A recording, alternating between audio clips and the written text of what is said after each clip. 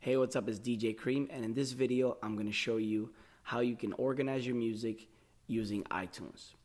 Before we get started, the first thing you want to do is you want to make sure that you have the latest version of iTunes. So you want to go up to the iTunes menu and you want to click on check for updates.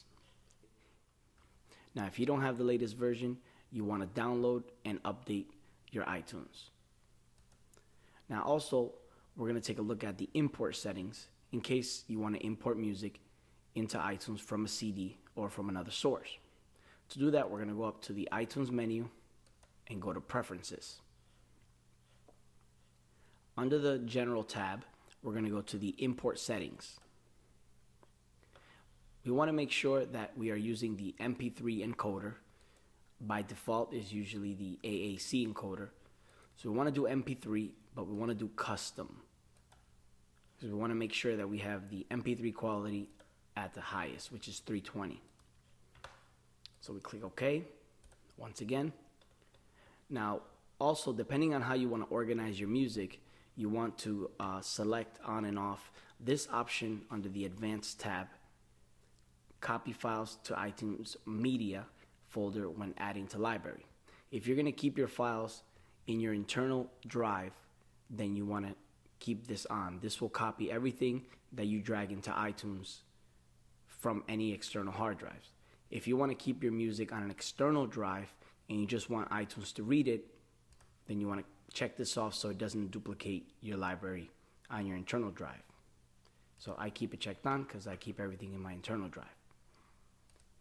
All right, so now I'm going to show you how I use iTunes to organize my music and to create smart playlist. Now, if you want to create a regular playlist, you can simply go over to the plus sign or you can go up to file and new playlist. That will create a regular playlist that you can name. We'll call this house 2. And then you can simply just add music to it. Now, the only problem with this kind of playlist is that you have to update it manually. But iTunes also has smart playlists, which are playlists that you can create setting certain rules with the music that you have. Now, one of the most important things that you want to do is you want to label all your music. You want to make sure that in the artist column is the artist name, the name of the track. If you want to put comments like the uh, the key code, and also the genre, the beats per minute. And you can look at all that by simply right clicking and going to get info. And there you'll have all your information. You can edit it and make sure it's correct. That way, when you make the smart playlist, everything will fall into place. Now, to create a smart playlist, you go up to File and do create new smart playlist. Now in this window is where you're going to add all your rules. So in this case, let's say I want my genre to be is electro.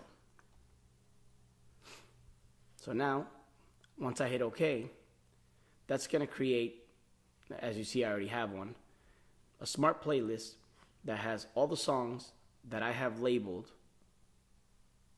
as electro. Now, if I add a new song to my library with the genre electro, it's going to automatically add it to here. So that's a quick way for you to keep your playlist updated without you having to do it manually. Now you can set more than one rule, uh, and I'm going to show you here. Let's say Aventura, which is one of my Latin smart playlists.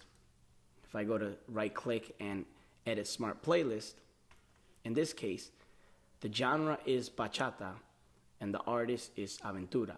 So any song that I have that's genre bachata and artist Aventura will automatically go to that smart playlist.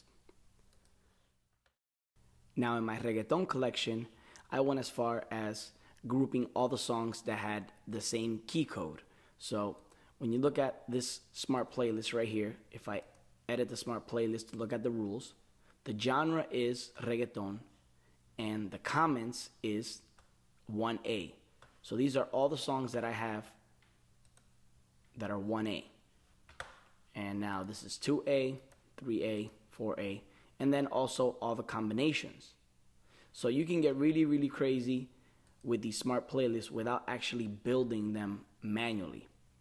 You can go in, set your rules, as long as your music is organized with all the right columns and everything labeled correctly, you'll be able to do some incredible things with these smart playlists without having to do a lot of work. Another advantage of using iTunes to organize your music is that you can use it with any DJ platform. So it doesn't matter what DJ software you're using, they all read iTunes. Hopefully with this video, you can organize your music in iTunes and make it more efficient for you to work and DJ.